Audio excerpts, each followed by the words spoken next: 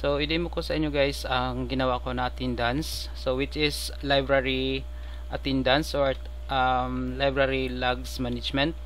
So, ito yung mga at ito yung sa screen. So, if ever na yung mga students ay pumasok sa library, so kailangan nilang i-scan yung ID number dito sa ano, sa screen. So, para mag attendance logs. So, pwede po ito sa RFID, barcode, and QR code. So, compatible po siya. Okay, so ito yung sa admin.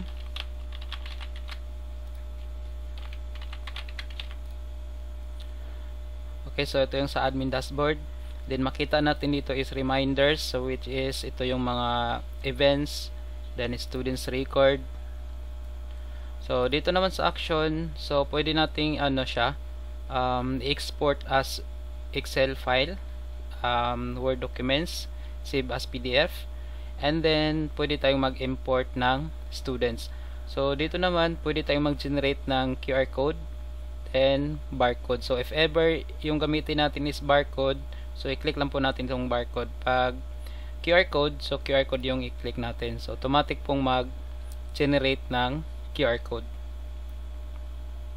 Okay so nakapangalan po dito yung ano um, students. Tapos ito yung ID number or QR, QR code ng mga students. Ito yung gamitin sa ano um, pag scan sa library. Okay? So dito naman um, kung ano uh, barcode yung gamitin natin, so click lang po natin itong barcode and then automatic ring mag-generate ng barcode. So itong mga barcode na ito, so ito yung ilagay natin sa student ID para ito po yung i-scan sa library. So naka ano na po siya. Naka auto generate na po yung barcode.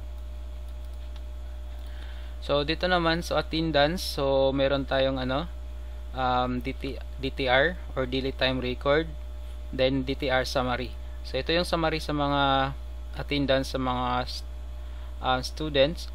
So makita natin dito yung time in, time out sa AM and then PM time in and saka PM time out then status. So makita natin dito. And then pwede rin natin siyang i-export into PDF and Excel file. Okay so naka ano po siya? Naka PDF pwede rin siyang Excel file. So magdepende po kung ano yung gamitin na, ng pag-export. So pati rin sa ano dito sa students. So pwede siya save as PDF okay so nakalis na po siya Then dito naman is meron tayong course. So list of course. And then department. So department natin is College of Art and Sciences. Then College of Business. So nakadepende kung ano yung mga colleges sa school. And then dito naman sa settings. So kung gusto natin palitan ng uh, logo. So dito lang tayo sa settings.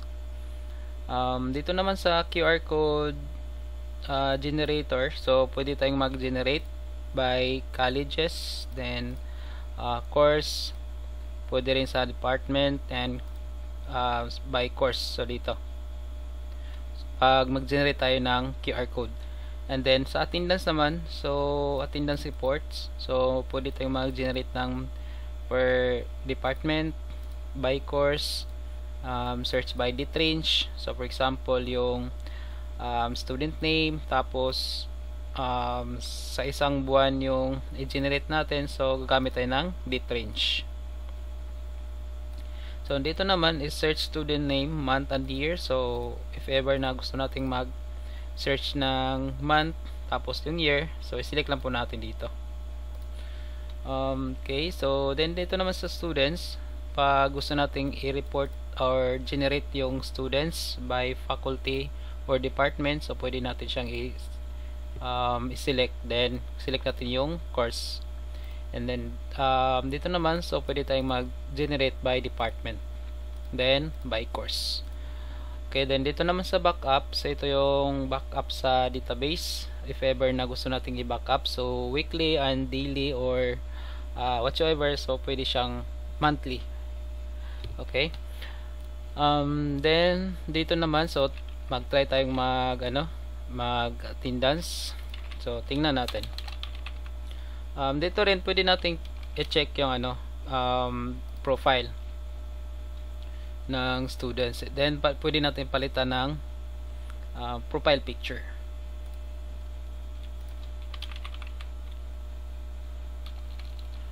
Um, try tayong mag, ano, mag attendance. So, log out natin to. Okay, then, um, since hindi po ako nakagamit ng ano, um, RFID, so, i-manual ko muna.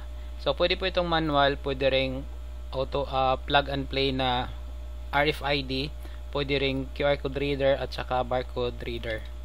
So, enter lang po yan, then automatic po makita yung ano dito, information um, dito.